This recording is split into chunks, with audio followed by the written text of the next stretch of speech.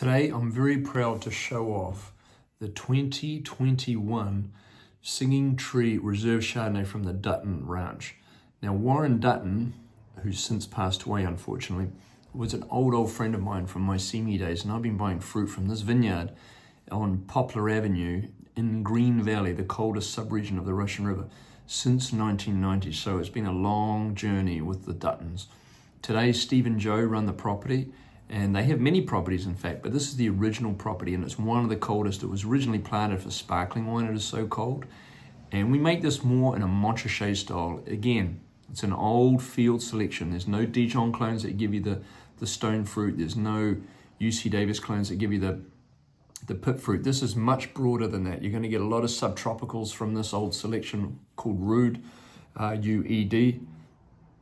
Yeah, and I get a lot, because Montrachet is going to be a little bit heavier and richer than our regular singing tree, so this is full on. It's got a little bit more vanilla, but still has that same subtropical passion fruit that we get from the C selection, S-E-E.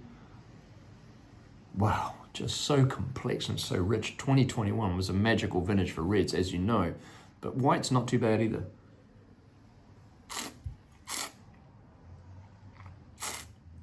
Wow just sublime, silky, round, much richer than Singing Tree, but just all this complexity and layers and a little bit of butter, a little bit of fruit, a little bit of sweetness, a little bit of vanilla.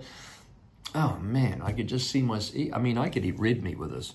Big, fat, hearty steak, but at the same time, beautiful piece of halibut, sitting out on the beach, nice barbecue, great way.